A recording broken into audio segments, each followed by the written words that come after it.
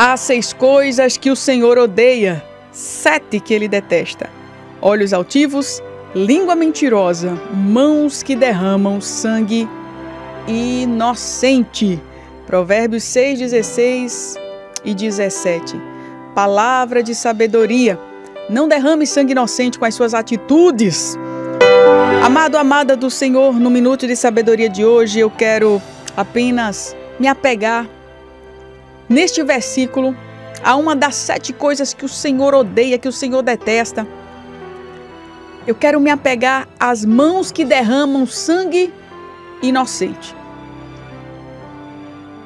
E talvez você esteja se perguntar, ah, mas eu nunca matei ninguém, essa palavra certamente ela não é para mim. Quando nós olhamos para a palavra de Deus, algumas vezes nós nos apegamos apenas ao sentido literal da palavra, ou como a gente costuma dizer no popular, ao pé da letra. Mãos que derramam sangue inocente. Essa palavra se refere, obviamente, a, a pessoas que matam, que tiram a vida de inocentes, sejam inocentes adultos, sejam inocentes no ventre da sua mãe. A palavra de Deus, ela é contra o aborto. E está bem claro aqui que o Senhor odeia, que o Senhor detesta. Então você cristão, você já sabe que você precisa se posicionar contra o aborto, contra a matança de inocentes no ventre da sua mãe. Mas não é sobre isso exatamente que eu quero falar no dia de hoje. Você pergunta: eu nunca matei ninguém, eu nunca fui a favor do aborto, eu nunca derramei sangue inocente. Mas eu quero ir mais fundo aqui, eu quero olhar com profundidade e eu quero perceber aqui que essas mãos que derramam sangue inocente também estão, sobretudo, ligadas ligadas às injustiças.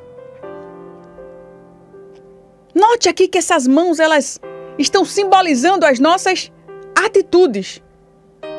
E aí você pergunta, ah, mas quando é que uma mão, a minha mão, a mão de alguém, ela pode derramar sangue inocente? E eu quero te mostrar aqui que muitas vezes, amado, amada do Senhor, você pode derramar sangue inocente de alguém com suas atitudes. Quer um exemplo? Quer um exemplo que você pode derramar sangue inocente até matar alguém com algo que você fala, com uma forma de agir? Por exemplo, quando você ouve uma notícia de alguém e você aumenta aquela notícia e você reproduz aquela notícia colocando um pouquinho de açúcar, de mel, de chantilly, de, de cobertura, de, de, de como é o nome daquele negócio, de granulado, de brigadeiro por cima. Quando você ouve essa notícia e faz tudo isso reproduzindo, sem realmente analisar se aquele fato é verdadeiro, se aquele fato é falso. Veja o que diz Provérbios 25 e 18: Martelo e espada e flecha aguda é o homem que levanta falso testemunho contra o seu próximo. Você pode derramar sangue inocente quando você exagera na forma de contar a história, a versão da sua história. Quando você mente de forma a deixar a pessoa numa situação difícil. Você está sendo como um martelo, você está sendo como uma espada, você está sendo como uma flecha aguda. É o que diz a palavra de Deus em Provérbios 25 e 18. Amado, amada, tem uma pessoa que eu convivo com ela que sempre que eu vou contar algo que, é, que, que, que essa pessoa contou, eu sempre digo assim, essa é a versão dela. É o evan... Eu até brinco assim, ó, esse aqui é o Evangelho segundo fulana de tal. Essa é a versão que ela contou.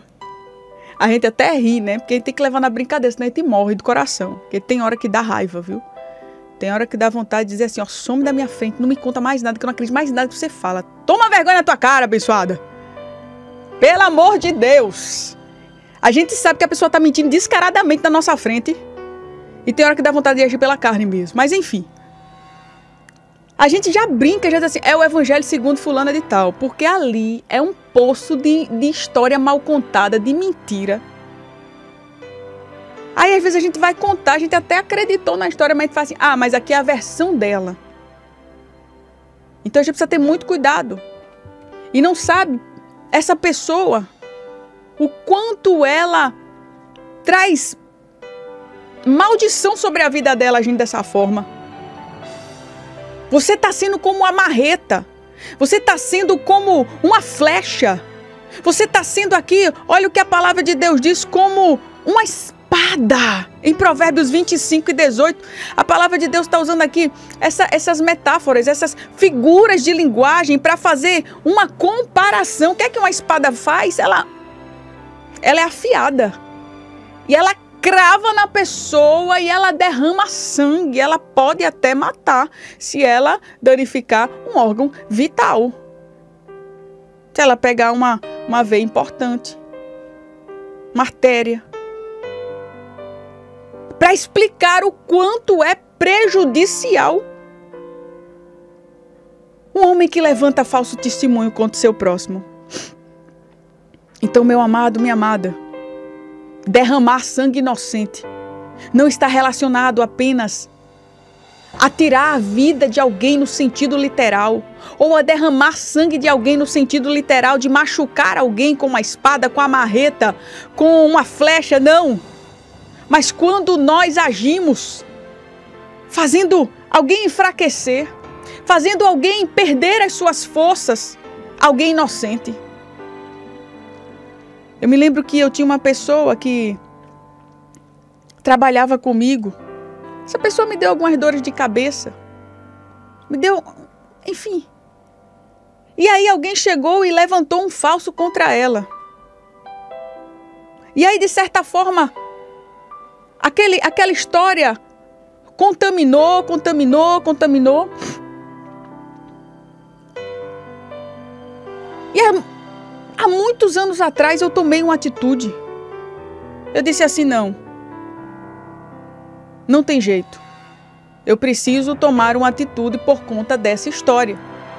Por mais que as outras histórias difíceis eu já tenha superado, mas essa não dá. Então a gente tomou uma atitude. Eu disse: ó, a gente vai precisar. Você segue seu caminho, eu sigo o meu. E aí, amado, amada, depois eu descobri que aquilo tinha sido uma mentira. Uma mentira de alguém que queria prejudicar ela. E por muito tempo, ao longo dos anos, eu estava acreditando naquela mentira. E estava deixando uma pessoa super importante para mim distante de mim. Veja só como é prejudicial. Veja só, alguém, um mentiroso, derramou sangue inocente. Claro que a gente sabe que Deus permite isso tudo para provar a mim, provar fulano, para provar a ciclano. Deus tem os seus propósitos. E Deus usa até o mentiroso, né? E aí eu disse: não.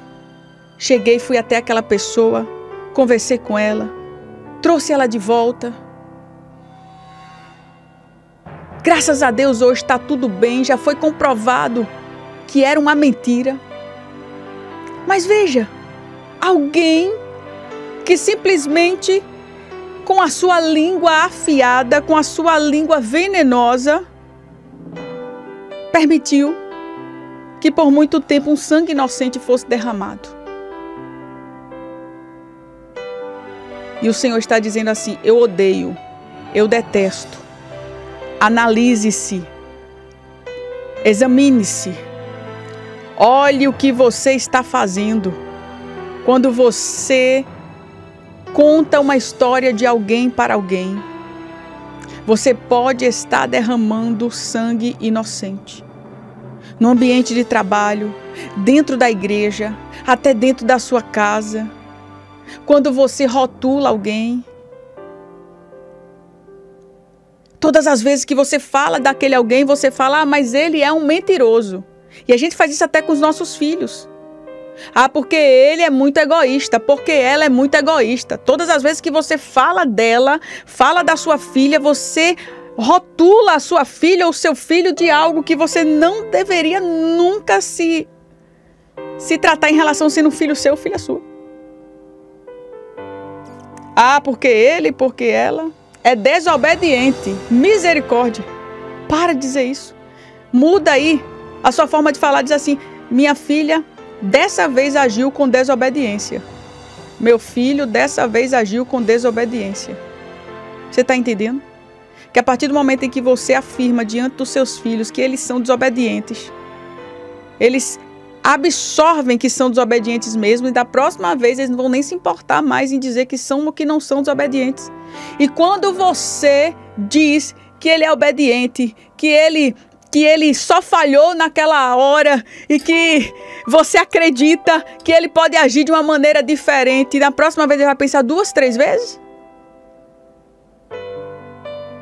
Mãos que derramam sangue inocente.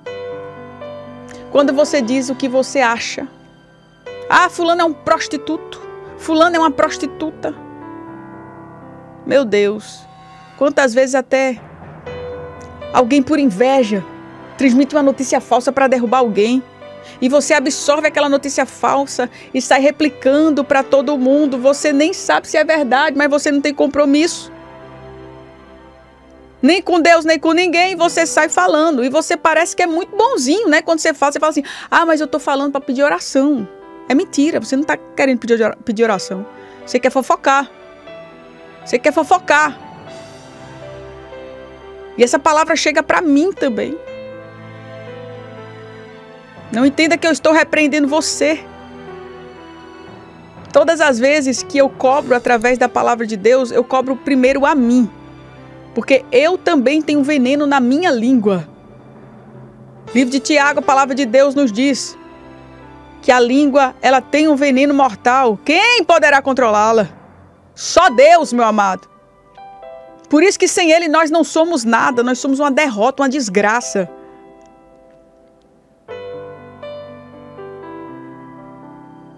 Então tenha compromisso com o que você repercute por aí, com o que você fala.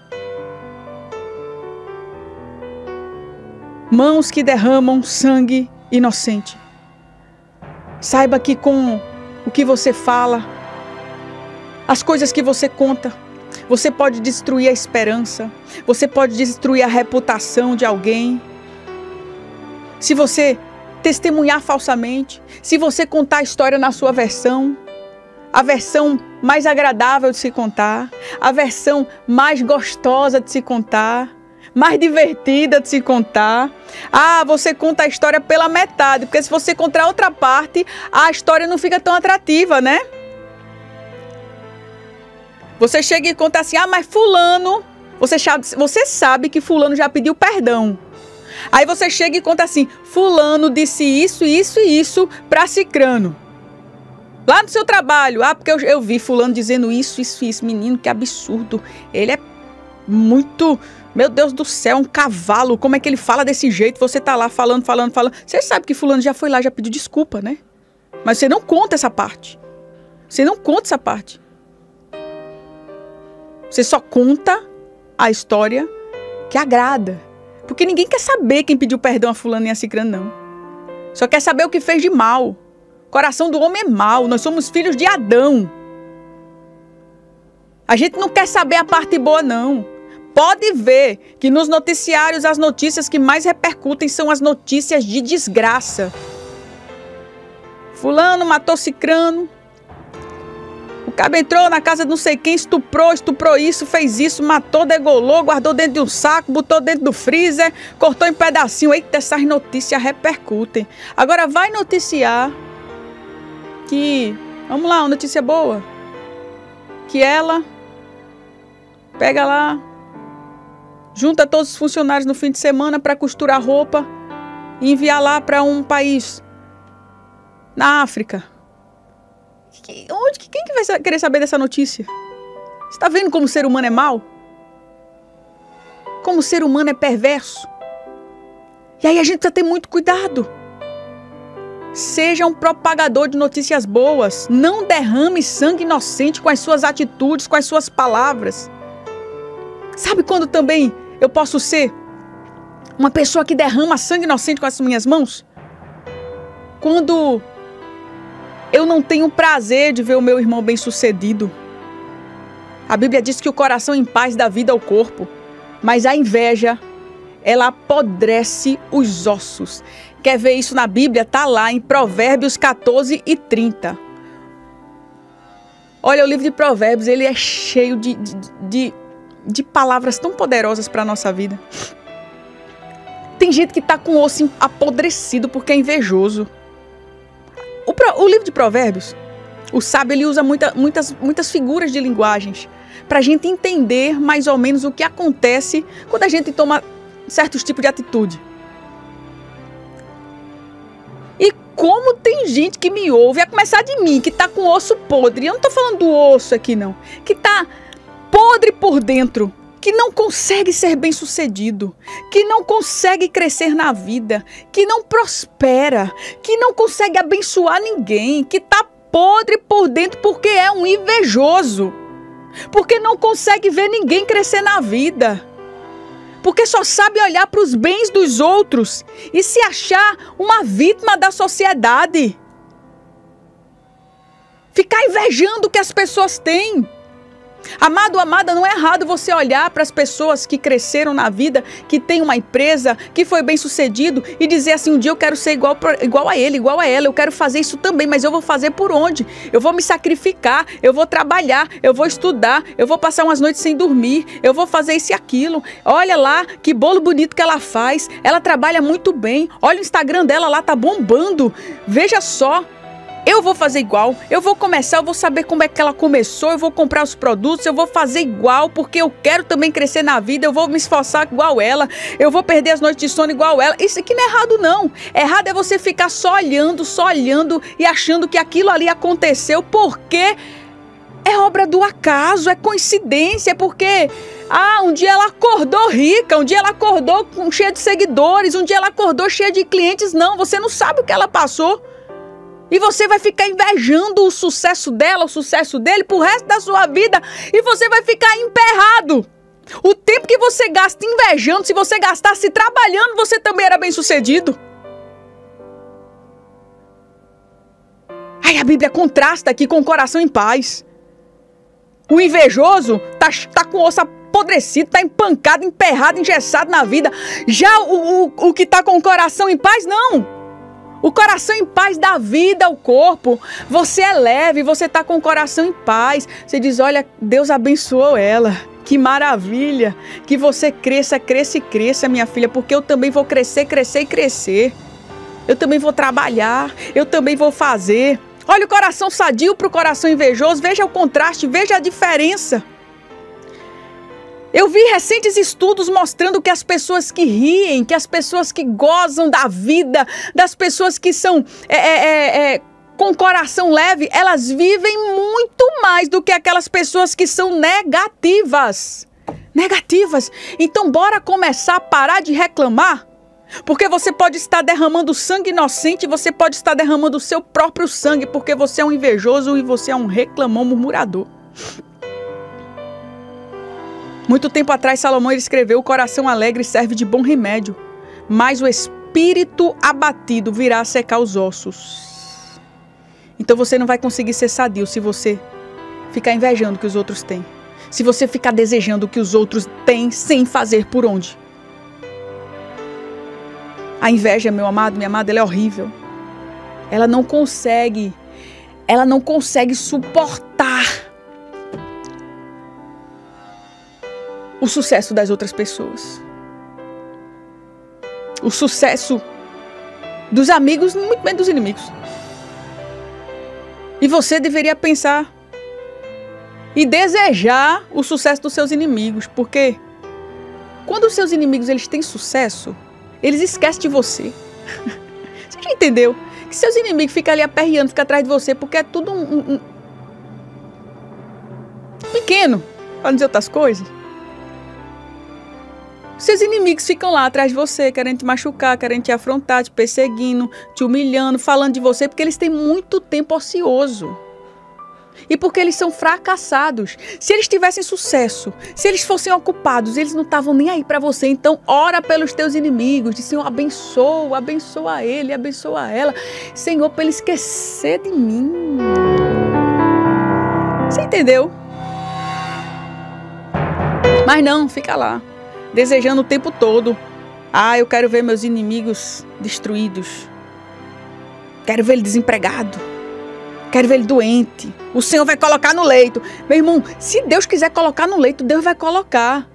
É melhor você deixar Deus julgar. Porque Deus pode querer que ele seja bem saudável. E você ficar orando para Deus colocar no leito, entendeu?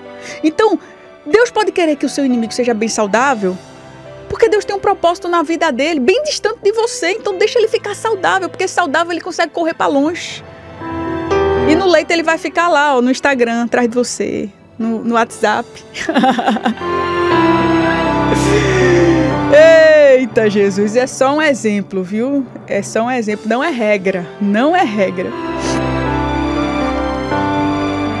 Mãos que derramam sangue inocente. Pessoas que sempre estão procurando um erro, um defeito de alguém. Cuidado, muito cuidado!